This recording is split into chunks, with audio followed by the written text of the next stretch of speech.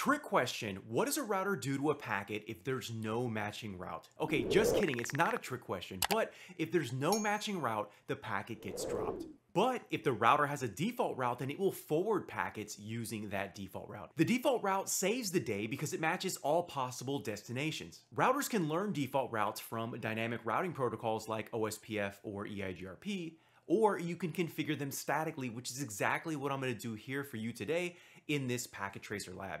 When you're taking a CCNA exam, you want to be overprepared, you want to be confident, and you want to be ready. It's not a cheap exam.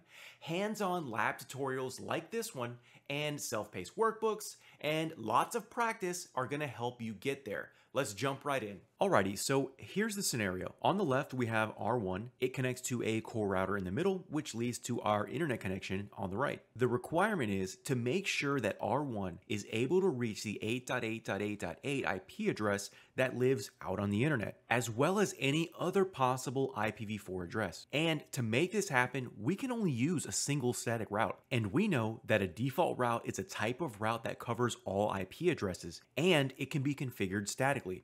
What I'll do is I'll click R1 to access the CLI, and to view this router's routing table, I'm going to use the command show IP route. The first thing that you're going to notice is that the gateway of last resort is not set. That means there's no default route on this router. And as far as actual routes, there isn't a lot here. Just a connected route for that slash 30 network attached to gig 0 slash 0 and a local slash 32 route for the IP address on this interface. R1 definitely does not have enough reachability information to any other network. If I were to try to ping 8.8.8.8 now, it's going to fail. Let's go ahead and confirm that.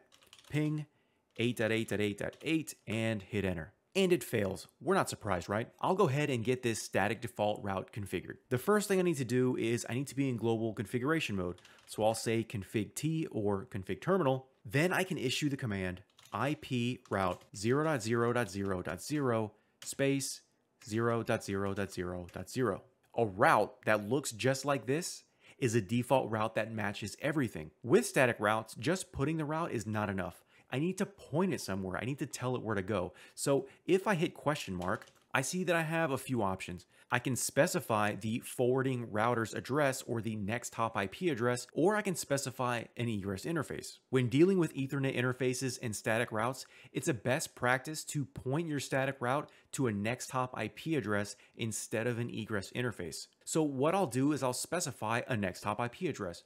But what next hop IP address? Well, from router 1's perspective or R1's perspective, it's directly connected to the core router in the middle. So I'll use that core's gig 0 slash 0 IP address of 10.0.0.2 as my next hop. So when R1 wants to send traffic to any other network besides its own, it will forward it to a next hop or a next router in line's IP address of 10.0.0.2. I'll go ahead and hit enter and check the routing table again to see if anything's changed. From here, I can do a do show IP route and there's a new route here. We have a static route that says 0.0.0.0 slash 0, which again means any possible IPv4 address.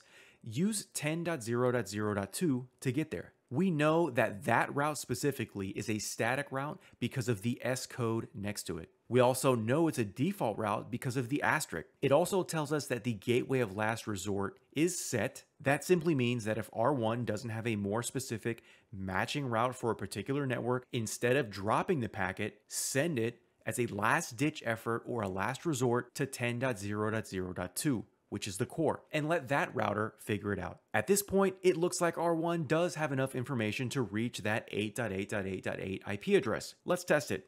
I'll say do ping 8.8.8.8 and I'll hit enter. Perfect, it's successful. R1 was able to reach the IP address on that internet router thanks to the default route, that static default route. I don't need to add any other static routes to reach any other network because that static default route matches everything. And that's really all there is to it. Static default routes, or static routes in general, are really easy to configure and this was a lot of fun. I really enjoy helping people learn networking, especially from labs like these. If you found this video helpful, let me know in the comments. Don't forget to hit that like button, it really does help the channel grow and reach more people. And be sure to subscribe to the channel if you haven't already. That's it for now, have a great day and keep labbing.